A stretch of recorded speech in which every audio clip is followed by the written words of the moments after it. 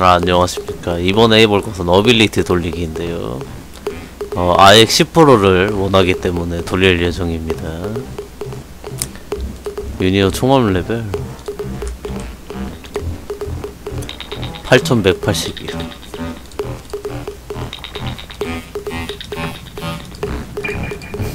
바꿔보겠습니다. 어, 어 4에서 5로 증가됐는데?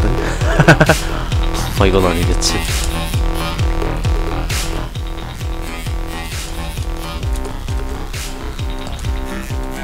두 번째로 넘어가는 게 있군요.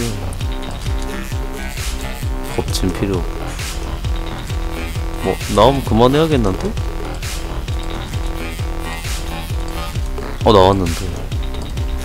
어, 나이스. 끝났다. 와. 감사합니다. 고맙습니다.